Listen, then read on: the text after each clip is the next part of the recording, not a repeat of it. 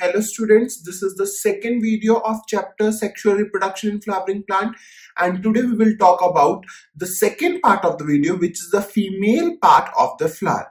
So on the page number 24, before this from page 23 it is already discussed in the previous video. So let us see what are the important questions from this paragraph. So in this paragraph, the most important question is that the female reproductive part, which is gynoecium, it can be monocarpellary or it can be multicarpellary. Now, if gynoecium has only one pistil or only one carpel, it is known as monocarpellary pistil.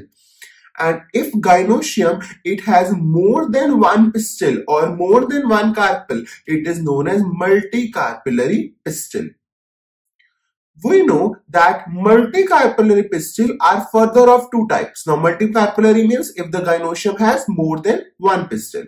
Now, if more than one pistil, which the multicarpellary ovary has, they are fused, then they are known as syncarpous. And if the pistil of the multicarpellary ovary are free, it is known as apocarpous. So if the pistils of multicarpellary ovary are fused syncarpous, if the pistil of multicarpellary ovary are free, it is known as apocarpous. And we know the pistil or the carpel, it consists of three parts, which is the stigma, which is the landing platform for the pollen grain, style, which is a long elongated structure which connects the stigma with the ovary, and the ovary, which is the basal bulge. Now on the page number 25, the most important diagram comes. This diagram is draw the diagram of anatropous ovule. So this is the diagram of anatropous ovule. Now let me explain the parts of the anatropous ovule. The first part of the anatropous ovule is funicle. Funicle is the stalk of the ovule. This stalk of the ovule is funicle or better you can say that funicle is the stalk of the ovule that connects the ovule with the placenta you know that place, uh, ovule is connected with the ovary with the help of placenta. So funicle, it is the stalk of the ovule which connects the ovule with the placenta. Now, next is there are protective coverings over the ovule. The outer protective covering is the outer integument. The inner protective covering is the inner integument. So these protective coverings are outer integument and inner integument. Now you can see that integument covered the whole of the ovule except at the tip and at the tip there is small hole or there is small opening that is known as micropyle and the end towards the micropyle is micropylar end whereas the other end is the chalazal end. Now in the center of the ovule there are many cells uh, which are known as nucellus. These cells, nucellus cells have abundant food reserve and in the center of the nucellus is the embryo sac which represents the female gametophyte. So this is the structure of an anatropous ovule. You should know that this outer integument and inner integument after fertilization develop into seed coat. Now let us look down and see what else is important from this paragraphs. Now in these paragraphs, the important question is that to name the other name. What is the other name of the ovule? We know megasporangia or megasporangium is the other name of the ovule. Now, what is the female gametophyte? We know the embryo sac is the female gametophyte. For example, male gametophyte is the pollen grain, female gametophyte is the embryo sac.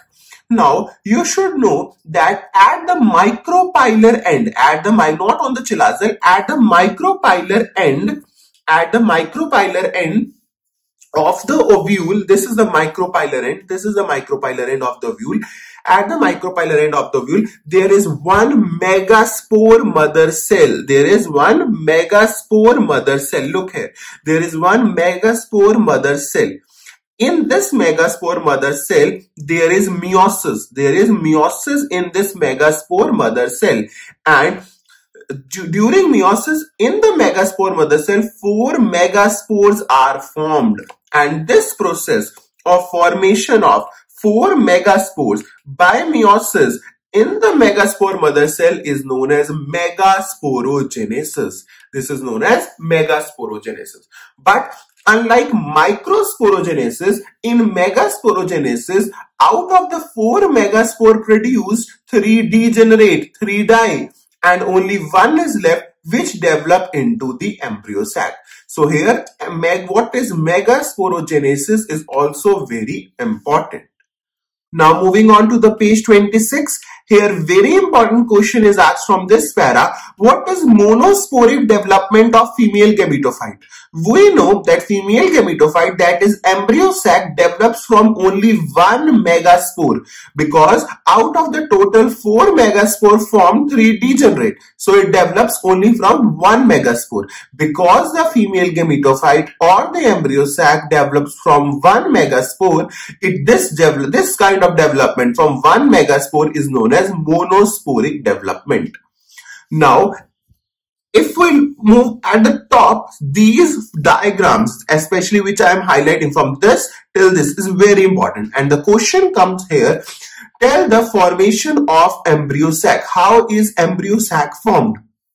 So the formation of embryo sac, it takes place, we know, from the megaspore, one functional megaspore, which is left because three degenerate.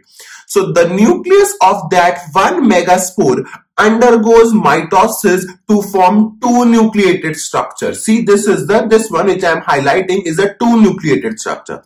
So the nucleus of the functional megaspore undergo mitosis to form two nucleated structure. Now, after undergoing mitosis, first mitosis, it undergoes second mitosis. The nucleus undergoes second mitosis to form four nucleated structure. After undergoing second mitosis, it undergoes third mitosis to form eight nucleated structure. Now see, first it undergoes first mitosis, it forms two nucleated structure. It undergoes second mitosis to form four nucleated structure. It undergoes third mitosis to form eight nucleated structure. Now you should remember that these mitotic divisions are free nuclear and there is no cell wall formation until the eight nucleated structure is formed. After the eight nucleated structure has formed, two cells remain in the center and they form the polar nuclei. Three cells move towards the antipodal cell and they, uh, uh, sorry, sorry, three cells move towards the chalazial end and they form the antipodal cell. Three cells move towards the micropylar end and they form two synergids and one egg. So this is how the development of embryo sac take place. You will write embryo sac is formed from the functional megaspore. The nucleus of the functional megaspore undergoes first mitosis to form two nucleated structure, second mitosis to form four nucleated structure, third mitosis to form eight nucleated structure. And after that, two cells remain in the center, they form polar nuclei, three cells move towards chalazial end, they form antipodal cells, Three cells moves down towards the micropylar end to form two synergids and one egg. Now here one more important question which is asked is what is egg apparatus? Egg apparatus is nothing but two synergids plus egg forms the egg apparatus.